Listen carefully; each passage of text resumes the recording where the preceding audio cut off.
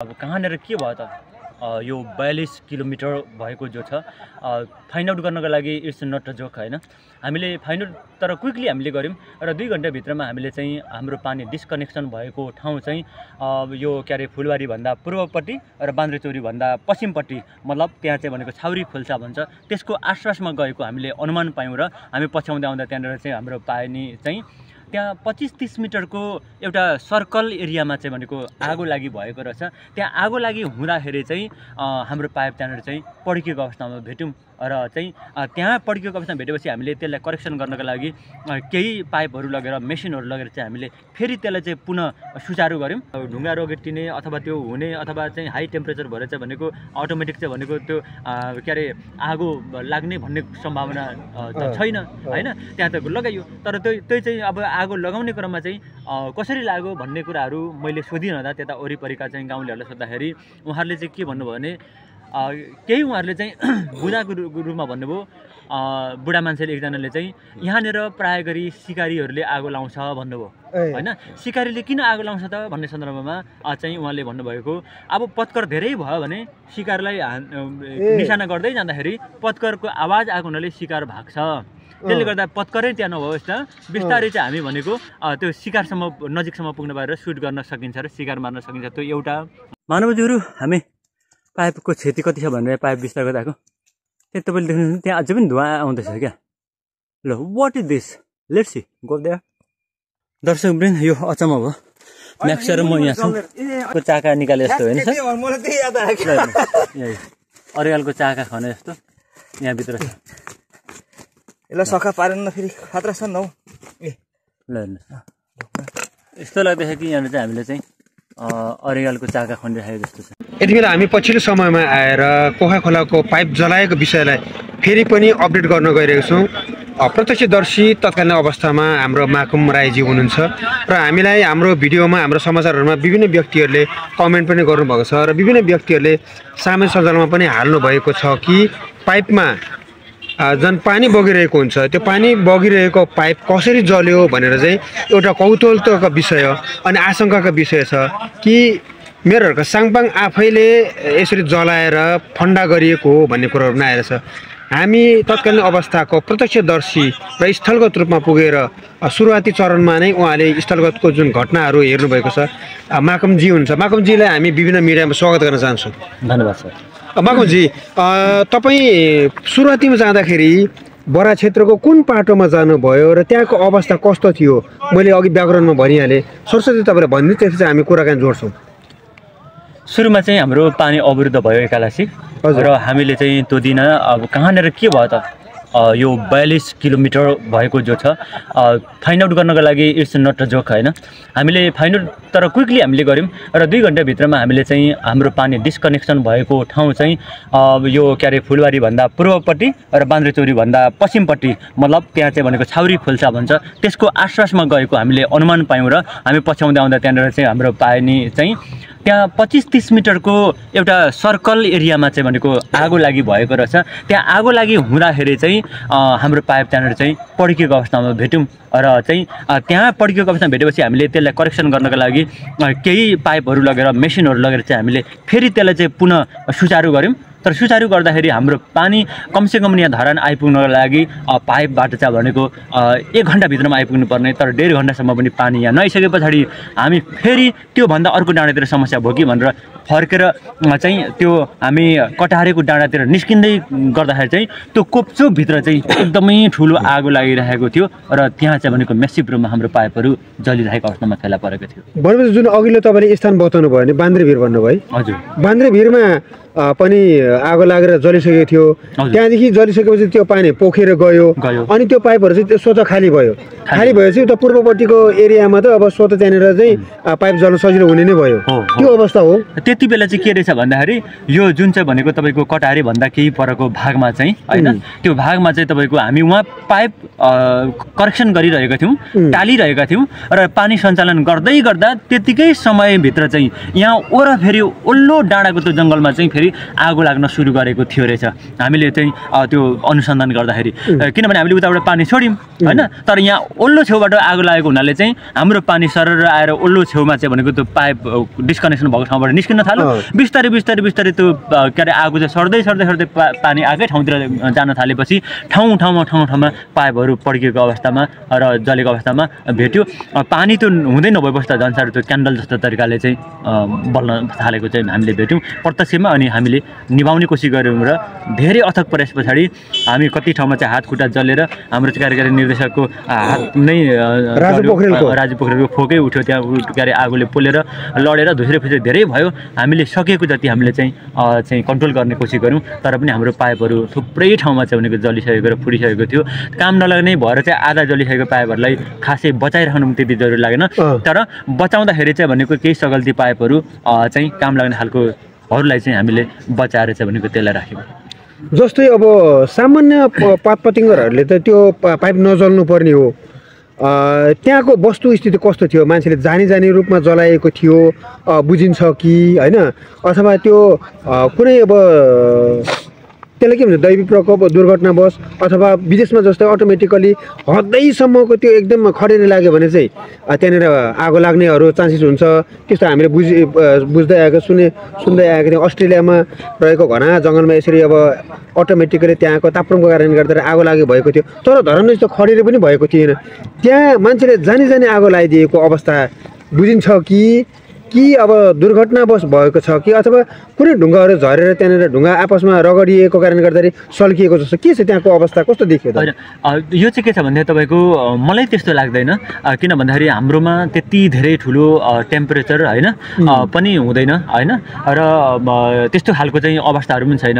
यो चाहिँ तपाईँको काहीँ न काहीँ मान्छेबाट नै त्यो आगो चाहिँ सुरु भएको भन्ने कुरा चाहिँ हामीले अनुमान गर्न सकिन्छ अथवा त्यही हो किनकि हाम्रोमा धेरै ढुङ्गा ढुङ्गा रगटिएर अथवा त्यो एकदमै हाई टेम्परेचरको कारणले गर्दाखेरि चाहिँ भनेको आगो भएको त्यस्तो। खालको पनि एउटा अवस्थाहरू छैन। हाम्रो देशको एउटा चाहिँ भनेको टेम्परेचरको हिसाब गर्ने हो भने पनि। र त्यहाँ चाहिँ आगो चाहिँ तपाईँको लगाइएकै हो तर यति हो। आगो लगाउनुको पछाडिको रहस्य अथवा त्यसको मेन पर्पस चाहिँ के थियो भन्ने कुरासँग तालु रहने कुरा हो होइन? अब आगो त त्यो अघि मैले भने हाम्रोमा त्यो तरिकाले त ढुङ्गा रगटिने अथवा त्यो हुने अथवा चाहिँ हाई टेम्परेचर भएर चाहिँ भनेको अटोमेटिक चाहिँ भनेको त्यो के अरे आगो लाग्ने भन्ने सम्भावना त छैन होइन? त्यहाँ त लगाइयो। तर त्यो त्यही चाहिँ अब आगो लगाउने क्रममा चाहिँ कसरी लाग्यो भन्ने कुराहरू मैले सोधिरहँदा त्यता वरिपरिका चाहिँ गाउँलेहरूलाई सोद्धाखेरि उहाँहरूले चाहिँ के भन्नुभयो भने केही उहाँहरूले चाहिँ बुझाको रु- रूपमा भन्नुभयो बुढा मान्छेले एकजनाले चाहिँ यहाँनिर प्राय गरी सिकारीहरूले आगो लाउँछ भन्नुभयो। होइन? सिकारीले किन आगो लाउँछ त भन्ने सन्दर्भमा चाहिँ उहाँले भन्नुभएको अब पत्कर धेरै भयो भने सिकारलाई। निशाना गर्दै जाँदाखेरि पत्करको आवाज आएको हुनाले सिकार भाग्छ त्यसले गर्दा पत्करै त्यहाँ नभयोस् त बिस्तारै चाहिँ हामी भनेको त्यो सिकारसम्म नजिकसम्म पुग्न भएर सुट गर्न सकिन्छ र सिकार मार्न सकिन्छ। त्यो एउटा होइन। अब दोस्रो कुरा चाहिँ तपाईँको टाढा टाढासम्म पनि शिकार देखिने भयो होइन? तेस्रो कुरा भने चाहिँ तपाईँको जब चाहिँ एक किनाराबाट चाहिँ भनेको आगो छोडिसके पछाडि अर्को किनारा गौडामा त त्यो जान्छ शिकारहरू त्यो गौडामा चाहिँ तपाईँ ढुकेर बस्छ यताबाट आगोले चाहिँ भनेको खेद्दै खेद्दै गएपछि त्यहाँनिर ढुकेर मार्न सकिन्छ भन्ने पनि अर्को भयो। त्यस पछाडि अर्को विषय चाहिँ के भन्दाखेरि गोठालाहरूले पनि लगाउँछ भन्ने कुरा भयो। किन त भन्दाखेरि त्यो आगो लगाइसके पछाडि चाहिँ पछि गएर चाहिँ भनेको नयाँ पालुवाहरू छिटो घाँस। पलाउँछ भन्ने तर्क। तर अब यी सबै कुरामा चाहिँ म के भन्छु भन्दाखेरि हाम्रो पाइप जलेको कारणले अथवा हाम्रो पाइप त्यहाँ भएको कारणले मात्रै चाहिँ जङ्गलमा आगो लाउनु हुँदैन भन्ने पक्षमा म अँ, जङ्गल भनिसकेपछि हरियो वन नेपालको धन हो त्यो जङ्गलमा कुनै पनि हालतमा आगो यहाँको मात्रै न काहीँकोमा पनि लाउन मिल्दैन। मिल्दैन। किन मिल्दैन भने मैले भने त हरियो के अरे वन नेपालको धन। भनेर भनिन्छ होइन त। अब त्यहाँ चाहिँ तपाईँको भनेको आगो लाउने बित्तिकै त्यहाँ भएका क्रिएचर्सहरू जति हुन्छ होइन? त्यहाँ भनेको किरा मकौडा चरा चुरुङ्गी घोरल मृग लगायतका चाहिँ अन्य चिजहरू हुन्छन् नि ती सबै चाहिँ भनेको भागेर जान्छ। प्रकृतिले दिएको बनाएको जुन प्राकृतिक चिजहरू छ त्यो चिजहरूले यो हाम्रो धरतीको एउटा ब्यालेन्स राख्नका लागि यसको सुन्दरता थप्नका लागि त्यो बनाएको चिज हो। त्यो यहाँबाट चाहिँ भनेको हामीले हटाइयो भने यहाँबाट चाहिँ सबै चाहिँ भनेको मारियो भने हाम्रो वनको सुन्दरता पनि रहँदैन वनको रौनक पनि रहँदैन। त्यहाँनिर जाँदाखेरि चराहरूको चिरबिराहट होस्। त्यहाँनिर चाहिँ भनेको घोरल मृगहरू उफ्रिँदै हिँडिरहेको होस्। त्यहाँनिर चाहिँ भनेको तपाईँको हराभरा जङ्गलहरू होस् होइन? त्यहाँ भएका पर्यावरणहरू यति सुन्दर र फ्रेस होस् कि होइन? रब मात्रै जङ्गल भनिन्छ क्या तर आगो लागिसकेपछि के हुन्छ भने तपाईँको एक त चराचुरुङ्गीहरूले बास छोड्छ। त्यहाँ भएका किरा मकौडाहरू पनि के अरे मरेर सकिएर जान्छ। कमिला समिला पनि के अरे हराएर जान्छ। त्यहाँको घोरोल मृगहरू पनि सकिएर जान्छ। त्यो का साथसाथमा हाम्रो चाहिँ हरेक वर्ष माथि चाहिँ भनेको ठुल्ठुला रुखहरूबाट चाहिँ भनेको सिड्स जो हुन्छ नि बिउ। भुइँमा झरेको हुन्छ। त्यो सिडहरू पनि सबै जलेर नष्ट हुन्छ जो कि अर्को वर्ष उम्रिने थियो। अघिल्लो वर्ष उम्रेका चाहिँ त्यहाँनिर सखुवाका बोटहरू अन्य घाँसका बोटहरू कस्तो मजाले बढ्दै गरेको हुन्छ त्यो सत्यानाश भएर जान्छ। अनि त्यहाँ रहेका जो रुखहरू छन् त्यो रुखहरूमा पनि आगो लागिसके पछाडि त्यो रुखहरू जतिको उसको उमेर अनुसार जति ठुलो हुनुपर्ने हो र जति अग्लो हुनुपर्ने हुँदैन त्यो आगोले डढिसकेपछि पोचा पर्छ। पोचा पडिसके पछाडि सानोतिनो हावाले ढालिदिन्छ अनि हाम्रोमा चाहिँ के रहन्छ भने खालि खोइराते डाँडा मात्रै रहन्छ। यदि खोइराते डाँडा रहने भने हरियो वन कसरी भन्न सकिन्छ हामीले?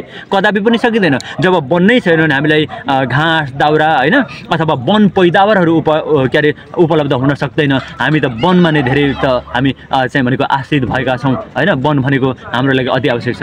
अब अर्को कुरा रहन्छ कि त्यहाँको पत्करहरू जो चाहिँ भनेको एउटा पैसाका बिटा बिटा जस्ता भएर सबै पत्करहरू त्यहाँ जम्मा हुने भने अहिले जानुहोस् आगो नलागेको ठाउँमा यति धेरै पत्करहरू छन्। ती पत्करहरू छपक्क जब अब मनसुन सुरु हुन्छ बर्सात सुरु भइसकेपछि त्यो पत्करहरूमा एक आपसमा चाहिँ भनेको थिचिएर पानी त्यहाँ रहेपछि त्यो कुहिँदै जान्छ। अनि एकदम राम्रो खालको हाई क्वालिटीको कम्पोस्ट मलमा परिणत हुन्छ। कम्पोस्टमा परिणत भएपछि त्यहाँ रहेका सिडहरू जो दानाहरू छ होइन रुख बिरुवाका त्योहरू चाहिँ यति मजाले उन्कुराउँछ र त्यो सबैभन्दा राम्रो उर्वरशील एउटा चाहिँ भनेको अर्ग्यानिक जो खाद हुन्छ मल हुन्छ त्यो पातको त्यहाँनिर चाहिँ भनेको तपाईँको एकै सालमा त्यो रुखहरू चाहिँ बाक्लो घना भएर चाहिँ निस्किन सक्छ होइन? नि निस्किन सक्छ। अनि त्यो जुन चाहिँ पत्करहरू छ त्यो कुहुँदै कुहुँदै माटोमा मिसिएपछि माटो कालो माटो बन्छ र राम्रो पनि हुँदै जान्छ। तर आगो लगाइदिइसके पछाडि त्यो त खरानीमा परिणत हुन्छ। जुन चाहिँ भनेको त्यो जि चिज छ नि जल्ने शक्ति जल्ने शक्ति भनेको फ्युल हो। त्यो फ्युल भनेको ताकत हो। त्यो ताकत नै आगोले सबै खाइदिएपछि मात्र खरानी रहन्छ। त्यो खरानीको कुनै पनि अर्थ रहँदैन। त्यो खरानी जब हाम्रो मनसुन सुरु भएपछि बगाएर सिधै काँसी लगिदिन्छ। अनि हाम्रो डाँडा पाखा हेर्नुहोस् त आगो लागिसकेपछि न त्यहाँ नयाँ बिरुवाहरू उम्रेर घना जङ्गल बन्न सकेको छ न चाहिँ त्यहाँ भएका रुख बिरुवाहरू भने जस्तो उसले साइज दिन सकेको छ र भने जस्तो तरिकाले उसले चाहिँ भनेको काठपात दिन सकेको छ केही पनि दिन सकेको छैन र चाहिँ हाम्रो त्यो के अरे पत्करहरू पनि बगेर गइसकेपछि मल नभएपछि उम्रिने बिरुवाहरू पनि उम्रिन पाउँदैन आगोले खाइदिन्छ खाइदिइसकेपछि हाम्रो डाँडा पाखा चाहिँ जहिले पनि यसो हेर्दै पनि शिशिर मात्रै आएको जस्तो खैरातै पाखा मात्रै हुन्छ खैरातै पाखा मात्रै हुन्छ। त्यसले गर्दा आगो लाउन कुनै पनि जङ्गलमा हुँदैन लाउनु हुँदैन भन्ने मेरो चाहिँ मान्यता हो र म चाहिँ सबैजनालाई आगो नलाउन पनि अनुरोध गर्दछु। जस्तै यो पाइपहरू जलेको हेर्दाखेरि नि अलिकति सम्म सम्म भूमि अथवा तेर्सो लाइनमा अथवा अलिक सजिलो ठाउँमा नै आगोहरू लागेको अथवा पाइपहरू जलेको हामीले देख्यौँ होइन? हाम्रो एकजना साथीले पनि भनौँ त्यहाँ होइन ठुटा मुर्गाहरू पनि जुन त्यो पाइपको साइडमा राखेर त्यसलाई आगो सल्काइसकेपछि झन् त्यो पाइप जल्न सजिलो भएको हो भन्ने पनि दाबी गरेको छ। तपाईँले चाहिँ कस्तो प्रकृतिको भेट्नुभयो त्यो पाइप जलाउँदाखेरिको अवस्थामा चाहिँ? यो चाहिँ के छ भने तपाईँले भनेको कुरा पनि एक ठिकै छ। किन भन्दाखेरि जब अलिकति समतल ठाउँ हुन्छ त्यो ठाउँमा चाहिँ भनेको तपाईँको मान्छेहरू आएर पनि बसिदिन्छ. उनीहरूले चुरोट पनि खाइदिएला होइन? चुरोटहरू खाइदिइसके पछाडि चाहिँ भनेको त्यसलाई सही तरिकाले डिस्पोज नगरिकन त्यत्तिकै फालिदिएको हुनसक्छ त्यहाँबाट पनि खडेरीमा आगो उठ्न सक्ने सम्भावना प्रबल देखिन्छ। र मान्छेहरू भिडमा त पक्कै गएर बस्दैनन्। त्यो समतलमा नै बस्ने हो। र अर्को कुरा के छ भने समतल भूभागमा चाहिँ आगो कुनै ठाउँमा पनि लाग्दै गयो भने माथि ठुल्ठुला रुखहरू सबैभन्दा विडम्बनाको कुरा के छ भने कत्रा ठुल्ठुला ठुल्ठुला गोलाइ भएका सखुवाका रुखहरू त्यहाँ सडेर बसेका छन् होइन सुकेर बसेका छन्। आगो लाग्दै गएपछि त्यो रुखमा लागे पछाडि तपाईँको त्यो रुख चाहिँ जल्दै जल्दै गएपछि यत्रो यत्रो मुढाका चोक्टाहरू होइन लड्दै झर्दो रहेछ तल तलसम्म। अनि जब त्यो समतल भागहरूमा आउँछ अथवा छरिएर डाँडाकाँडामा जान्छ त्यहाँबाट हरेक ठाउँबाट फेरि चाहिँ आगो टिप्ने सम्भावना हुँदो रहेछ होइन। तर आगो मैले भनिहालेँ आफै त लाग्ने होइन। मान मान्छेहरूले नै काहीँनिर कि लाइटर तपाईँको चाहिँ भनेको जलायो कि चाहिँ भनेको सल्लाइ कोर्यो कि होइन त्यो सिगरेट खानको लागि होस् वा शिकार मार्नको लागि होस् अथवा घाँस मार्नको लागि जेसुकै भने मान्छेहरूले नै गरेको त्यो कृत्य हो र काम हो। त्यो अरू जनावरले गर्दैन। त्यसो भएको कारणले त्यस्तो ठाउँमा चाहिँ आगो ज्यादा लागेको देखियो र त्यो ठाउँमा चाहिँ ज्यादा जलेको देखियो। जस्तै कमेन्टमा के पनि आएको छ भने यो मान्छेलाई चाहिँ अब आगो लाउने मान्छेलाई चाहिँ होइन पाइप डढाउने मान्छेलाई चाहिँ जसले समाज छ त्यसलाई म यति हजार रुपियाँ पुरस्कार दिन्छु यति हजार पुरस्कार दिन्छु भनेर भनिरहेछन् होइन। तपाईँको यो समग्र भनाइहरू सुनिरहँदाखेरि चाहिँ के भयो भन्दाखेरि यो चाहिँ यो पाइप जलाउनको लागि आगो लगाएको होइन अन्य अन्य अरू अरू क्रियाकलापको लागि आगो लगाइएको थियो। त्यसमा चाहिँ पाइप डढेको भन्ने कुरा आयो यस्तो छ। त्यसमा चाहिँ के छ भने अब ठ्याक्कै यस्तै भनेर चाहिँ तपाईँको पर्टिकुलर कसैलाई दोष दिने कुरो त हुँदैन। मान्छेले नै लगाएको आगो त भनेर मैले भनिराखेको अवस्था छ नि। र यसमा चाहिँ के छ भन्दाखेरि तपाईँको अब मान्छेले लगाएको हो मैले अघि पनि भने तर कुन नेतले लगायो भन्नेसँग चाहिँ हामीले तालु राख्नुपर्छ जस्तो लाग्छ क्या। कुन नेतले लगायो। हुन त हाम्रो यत्तिका धेरै चाहिँ भनेको स्टनबाजी गरेको भनेर विरोध गरिरहँदाखेरि होइन? अब कुनै मान्छे चाहिँ त्यहाँनिर गएर चाहिँ त्यो विरोध गर्ने मान्छेले कुनै मान्छेले गएर चाहिँ भनेको छ सिगरेट खाए जस्तो गरेर त जङ्गलमा आगो ठोसिदियो भने के आधार छ त हामीलाई उसको चाहिँ भनेको मकसद खराब थिएन भन्ने कुरा? होइन? र फेरि खराबै थियो उसको मकसद भनेर भन्न सक्ने आधार पनि छैन नि त। आधार। छैन। त्यसले गर्दाखेरि यो कुरा के हुन्छ भने एक हिसाबले हेर्ने भने डिप्लोमेसी तरिकाको देखिन्छ क्या। त्यसले गर्दाखेरि पनि अब न त किटान गरेर यही हो भन्न सकिन्छ न त होइन भन्न पनि सकिन्छ। यो चाहिँ के छ भने मैले विभिन्न ठाउँमा भन्दै आएको छु नदेखेको चोर बाउ समान भने जस्तै हो क्या। तर यो कृत्य भएको चाहिँ भनेको मानवबाट हो घोरलबाट पनि होइन मृगबाट पनि होइन जङ्गली जनावरबाट होइन मानवबाट नै भएको हो। तर उसको उद्देश्य उसको पर्पज के के थियो भन्ने कुरा चाहिँ- मात्रै हो क्या यो रहस्यको विषय हो। मैले भन्न खोजेको चाहिँ कुरा त्यो अनि अघि भन्दै हुनुहुन्थ्यो तपाईँले भन्दै हुन्थ्यो कि पाइपमा पानी भएको बेला आगो लाग्दैन त्यहाँ पानी नै थिएन भन्ने खालको मान्छेहरूलाई तपाईँलाई त्यो भिडियो पनि देखाइदिनु होला। यहाँ चाहिँ के छ भने तपाईँको अहिले सामाजिक सञ्जालको माध्यमद्वारा चाहिँ तपाईँले देख्नुभएको होला त्यो चाहिँ तपाईँको एउटा त्यो जङ्गलतिर चाहिँ एउटा सर्भाइभलहरूले चाहिँ चाउचाउ साउचाउहरू चाहिँ यसो तुर्लुङ्ग प्लास्टिकमा झुन्डाएर आगो लाएर पकाएर खाएको देखेको होला। त्यसको अनुमानमा मान्छेले चाहिँ के भन्न भन्दैछन् होला भने पाइपमा पानी भएको भए डढ्दैन थियो भनेर होइन? तर यस विषयमा के छ भने नि मेरो चाहिँ हुन त म तपाईँको कुनै त्यस्तो उता होइन। तर सामान्य हामीले चाहिँ जीवनमा देखेका भोगेका केही हाम्रा पनि आफ्नो तरिकाको चाहिँ तपाईँको चाहिँ सोच विचार हुन्छ नि अनुभवहरू हुन्छ। त्यसको अनुभवको आधारमा म के हुन्छ नि त्यो पोलिथिन पाइप भनेको त्यसको एकदमै थिकनेस भनेको एकदमै पातलो एमएममा हुन्छ। हाम्रो भनेको त यो त तपाईँको त अब धेरै मोटो छ। चान्चुन एक इन्चकै छ त्यसको त्यो थिकनेस कति 11 ठाउँमा त। होइन एघार एमएमको छ होइन। अब कति ठाउँमा त अब धेरै पनि छ सिक्सटिनहरूको पनि छ। अब त्यसमा चाहिँ के छ भने तपाईँको बाहिरबाट चाहिँ भनेको आगोले भेटिसके पछाडि अब जस्तै मुढाहरूले दाउराहरूले भेटिसके पछाडि त्यो त प्लास्टिक हो। हाई क्वालिटीको प्लास्टिक हो छिटो त्यो मेल्टिङ सुरु हुन हुन सक् हुन थाल्छ होइन? र त्यसले चाहिँ आगो छिटो पनि टिप्छ। किनकि हाई क्वालिटी भइसकेपछि त्यसले चाहिँ भनेको तपाईँको डह्रो हुँदै पनि आगोसँग चाहिँ भनेको त्यो छिटो नरम हुन्छ क्या होइन? अनि त्यसो भएको हुनाले चाहिँ त्यो के भने बाहिरको भाग चाहिँ डढ्दै डढ्दै डढ्दै जान्छ। पानीसँग त कन्ट्याक्ट हुँदैन त्यसको त डाइरेक्ट हो कि होइन? जस्तै एघार एमएम भइसके पछाडि त आगोसँग त त्यो त भनेको डाइरेक्ट कन्ट्याक्ट हुँदैन। अनि त्यो जल्दै जल्दै गएपछि भित्र जब चाहिँ भनेको पातलो बनेको हुन्छ नि त्यो पातलो भागमा चाहिँ आगोले खाँदैन रहेछ होइन? आगोले खाएन। तर विडम्बना के भइदिँदछ भने त्यत्रो टाढाबाट आएको एकदम फोर्सको पानीले चाहिँ त्यो नरम भएको भाग पातलो भएको भाग र त्यो चाहिँ आगोले चाहिँ भनौँ न अलिकति गिलो। गिलो भएको बेला चाहिँ पानीले के गर्दो रहेछ भने तपाईँको फोर्सले चाहिँ भनेको ब्लास्ट गर्दो रहेछ क्या। फुटाउन सजिलो भयो। तपाईँहरूले क्यामेरा लगेर त्यहाँ जानु होला त्यो पाइपहरूमा। जहाँ जहाँ त्यो आगोले भेटेको पाइप छ त्यो पाइपमा चाहिँ भनेको पानीले चाहिँ तपाईँको चाहिँ त्यो भित त्यो भित्रबाट जसरी गोली लागेर यताबाट लागेर यता गयो भने यसरी फसियो हुन्छ नि। यस्तै गर्दै त्यहाँदेखि चाहिँ पपअप त्यो हामीले चाहिँ चुङ्गम खाएर फुलाए जस्तो। यस्तो फुलाएर चाहिँ फुलेर चाहिँ फक्क गरेर यस्तो छ माछाको मुख जस्तो निस्केर गएको छ क्या। राइफल अगाडिबाट हानेर पछाडि निस्किन्छ हो त्यस्तै भएको छ। र यो कारणले चाहिँ त्यो त्यस्तो भएको छ र पानी तपाईँको अहिले हाम्रो जुन अन्तिम अवस्थामा त्यहाँनिर चाहिँ भनेको के अरे डिस्कनेक्सन भएको छ खोल्सीमा। त्यहाँ खोल खोल्सीबाट तपाईँको बगेर चाहिँ तल के अरे हाम्रो त्यो खार खोलामा अहिले पानी खाइरहेको छ। त्यहाँ बस्तु बाबुहरूले खाइरहेको छ। पानी निरन्तर बगिरहेको छ। म आज पनि त्यहाँनिर गएर चाहिँ पाइपहरू विस्तार गरेर हामी अब भोलि पूर्ण रूपमा यो पाइपहरू विस्तार गरेर हामी पानी सञ्चालन गर्ने पक्षमा लागिरहेको छौँ। त्यहाँ गएर मैले हेरिरहेँ हाम्रो हरेक दिन चाहिँ भनेको सात लाख लिटर चान्चुन पानी चाहिँ धरानको ट्याङ्कीमा झर्ने थियो। आज चाहिँ भनेको चार दिनदेखि चाहिँ भनेको डिस्कनेक्सन भएको छ। पानीको कस्तो अवस्था भएको होला। होइन? हामीले एघार नम्बरका केही भूभाग र सत्र नम्बर डल्लेलाई त्यो पानीले ठेगिरहेको थियौँ। अहिले त्यहाँ पानी खुवाउनुको लागि अन्य ठाउँको पानीहरू कटान गरेर तै पनि थोरै थोरै दिनु परेको अवस्था छ। विडम्बना यस्तो छ।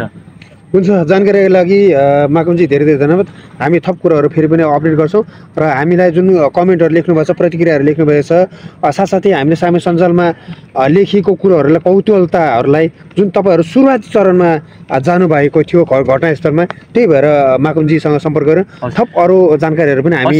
यहाँले अब सोध्नुभयो र आम उपभोक्ता अथवा संसारभरिबाट अ, चाहिँ भनेको धरानलाई चाहिँ माया गर्नुभएको त्यो मैले चाहिँ भन्ने गरेको छु त्यो एउटा पाइप पाइप मात्रै होइन त्यो एउटा प्लास्टिकको पाइप मात्रै होइन।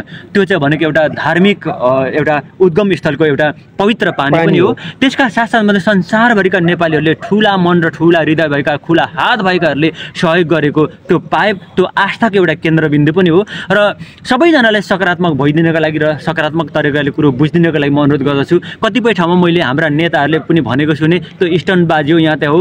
एउटा स्थानीय सरकार प्रमुखले चाहिँ मेयरले चाहिँ यतिका धेरै काम गर्न सक्छ कोकाको पानी ल्याउन सक्छ भनेदेखि तपाईँ एउटा चाहिँ भनेको सांसद हुनुहुन्छ अथवा मन्त्री हुनुहुन्छ अथवा तपाईँको मन्त्रीमण्डल छ तपाईँले चाहिँ भनेको यसको विषयमा के गर्न सकिन्छ भनेर आएर तपाईँले पनि कोकाको पाइपलाई लिफ्टिङ गर्न सकिन्छ कि अथवा अन्डरग्राउन्ड गर्न सकिन्छ कि तपाईँले पनि लिड गरेर अगाडि जानुहोस् किनभने तपाईँलाई पनि यहीँकै जनताले भोट हालेका हुन्। आज जनता हिजोका जस्तो लाटा छैनन् आज को कसले के के गरेछन् भन्ने कुरा आँखा खुलिसकेको छ र तपाईँको हिसाब किताब राख्दैछन् तपाईँ आज मन्त्री सांसद अथवा चाहिँ के के हुनुहुन्छ को को हुनुहुन्छ यही जनताले पठाएको। त्यो जनताको आँखामा छारो हाल्ने काम गरेर स्टन्टबाजी हो भन्दै तपाईँ चाहिँ एउ- एउटा एउटा एउटा चाहिँ भनेको जनताको आँखामा छारो हाल्ने तरिकाले आफ्नै हैसियतलाई चाहिँ र आफ्नै औकातलाई बिर्सिने तर्फ भन्दा पनि जनताले तपाईँलाई चुन जितेर पठाएको भनेको चाहिँ तपाईँको पब्लिक सर्भान्टको लागि पठाएको तपाईँलाई मालिक र राजा बनाउन पठाएको होइन। त्यस्ता गलत किसिमका चाहिँ कुराकानी नगर्न र विकासका काममा सदैव अगाडि बढ्न र जनताहरूले पनि त्यस्ता खालका मान्छेहरूलाई पहिचान गरेर त्यस्ता मान्छेहरू अ, देखि चाहिँ भनेको टाढै बस्नका लागि र रखवारी गर्नको लागि निगरानी गर्नको लागि म आम सर्वसाधारणलाई नागरिकको हैसियतमा एउटा नागरिकले गर्नुपर्ने दायित्व बोध गर्नको लागि पनि म विशेष अनुरोध गर्दछु तपाईँहरूको यो मिडियाको माध्यमद्वारा। धन्यवाद। हुन्छ।